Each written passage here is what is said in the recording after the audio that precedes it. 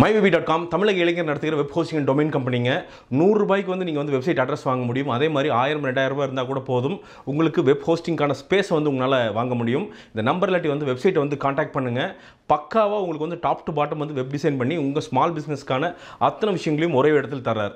So number contact பண்ணுங்கள் வெப்சைட்டை design பண்ணுங்கள் smile trips dot com Trichy Dindigul கோயம்புத்தூரில் உங்களுக்கு ஆஃபீஸ் இருக்குதுங்க. மலேசியா போகணும் அப்படின்னு நினச்சிங்கன்னா இங்கிருந்து ஃப்ளைட் டிக்கெட்ஸ் வாங்கிட்டு போய் இறங்குனீங்கன்னா பர் பர்சன் ஐயாயிரம் இருந்தால் சரி அங்கே அக்காமடேஷன் ட்ராவல் சைட் சீயிங் இப்படி அத்தனை விஷயங்களையும் பக்காவாக பண்ணி தர்றார். இதை விட சீப்பாக மலேசியன் டூர் நீங்கள் அமையவே அமையாது. அதே மாதிரி குரூப் டூர்ஸ் போகணும் அப்படின்னாலும் வந்து இந்த நம்பர் இல்லாட்டி வெப்சைட் வந்து காண்டாக்ட் பண்ணுங்கள் ஸ்கூல் காலேஜ் ஆஃபீஸ் எங்கிருந்து குரூப் டூர் போகிறனாலும் பக்காவாக அரேஞ்ச் பண்ணி தருவாங்க. So smile trips dot com வந்து காண்டாக்ட் பண்ணுங்கள் இந்த டூர் சீசனை என்ஜாய் பண்ணுங்கள் கொலைகாரன் விஜய் ஆண்டனி அர்ஜுன் ஆண்ட்ரூ லூயிஸ் அவர் வந்து ரொம்ப நாள் லீலை அப்படின்லாம் படம் பண்ணிட்டு ரொம்ப நாள் கழிச்சு ஒரு படம் பண்ணுறாரு என்னடா படம்? விஜய் ஆண்டனிக்கு வந்து ஒரு வெற்றி தேவை. ஏன்னா விஜய் ஆண்டனி படம் அப்படின்னாலே வந்து பார்த்தீங்கன்னா ஏமன் சைத்தான் அப்படி இப்படின்னு வந்து பார்த்தீங்கன்னா இருக்கிறதுலே வந்து மோசமான பேர் பூரா வச்சு ஒரு படத்தை எடுத்துகிட்டு போய் வந்து பண்ணிகிட்டே இருப்பார். இப்போ தான் ஒரு விஜய் ஆண்டனி படம் வந்து அதுக்குள்ளே வந்து அடுத்த படம் வந்துருச்சு அப்படின்ட்டு வந்து இந்த ஐஃபோனுக்கு வந்து அப்டேட் வர மாதிரி வந்து ஒரு பீரியடில் வந்து அந்த படம் வந்து அதெல்லாம் வந்து பார்த்துருக்குறோம் விஜய் ஆண்டனிக்கு பொ- பொறுத்த வரைக்கும் இன்றைக்கி வெற்றி தேவை அப்படிங்கிற ஒரு நிலையில் வந்து வந்திருக்கிற படம் தான் வந்து இந்த கொலைகாரன். கொலைகாரனுடைய மிகப்பெரிய ப்ளஸ் அப்படிங்கிறது ரெண்டு டைம் கிட்டத்தட்ட ரெண்டு மணி நேரம் அவ்வளோதான் வந்திருக்கு.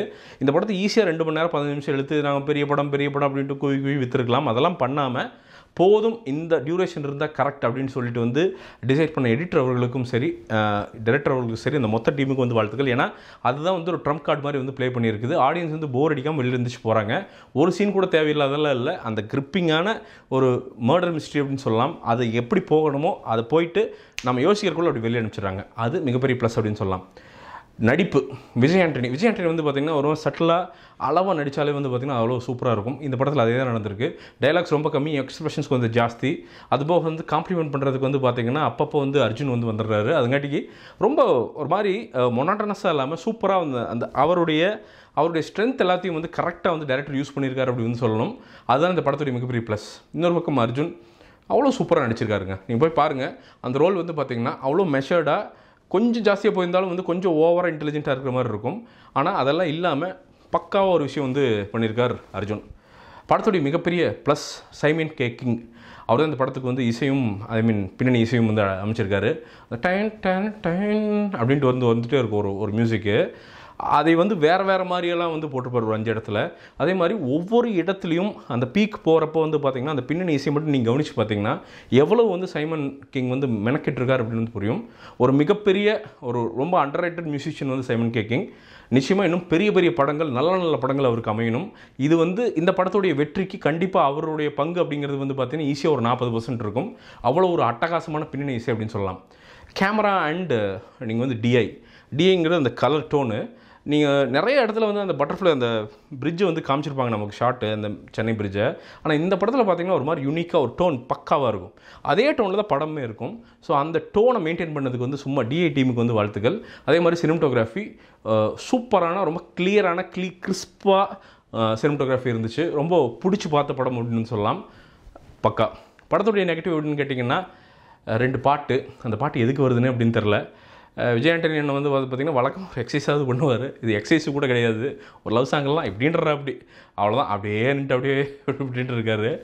ஸோ அந்த ரெண்டு பாட்டும் வந்து பார்த்திங்கன்னா ஸ்பீட் பிரேக்கர்ஸ் மட்டுமே தான். அதை தாண்டி அது என்ன பண்ணுது அப்படின்னு கேட்டிங்கன்னா ஒன்றும் பெருசாக பண்ணல. அதெல்லாம் இன்னும் கொஞ்சம் பெட்டராக வந்து ஷூட் பண்ணியிருக்கலாமோ அப்படின்னு தோணுச்சு. மேபி பஸ் பட்ஜெட் கன்ஸ்டன்ட் அப்படின்னு நினைக்கிறேன். அதுங்காட்டி அதை லிமிட் பண்ணிட்டாங்க. ஆனால் படம் ஸ்டார்டிங் அப்படி ஆரம்பிக்குதுங்க. ஒரு கொலை அப்படி விறுவிறுப்பு.